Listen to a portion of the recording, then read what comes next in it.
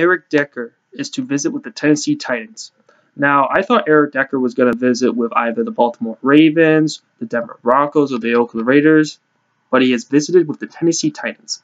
Now, this move definitely makes sense because they like an explosive wide receiver on the outside, and that's just how they roll because they like to get the outside uh, runs in. And if you have a deep threat right there, or a guy that can at least be a threat over the top, you can get a uh, good running plays in because in the cornerback has to worry about the underneath runs and he also has to worry about the wide receiver going over the top.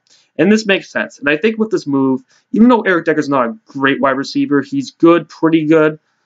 I would say this would probably make Tennessee Titans a top five offense in the league. Now, I still think Marcus Mariota is still overrated, but that does not mean I don't think he's good. And when I look at this, uh, if you have Corey Davis on one side, then you have Eric Decker on the other, with that stack O line, with Delanie Walker, DeMarco Murray, and with Marcus Mariota, you're looking at a great goal line offense right there. Maybe the best goal line offense. And overall, when I look at this, it's a good idea for the Tennessee Titans going after them because even though that they might be the favorites to go to the playoffs, I still think that this kind of certifies it and actually might give them maybe a good run in the playoffs, possibly.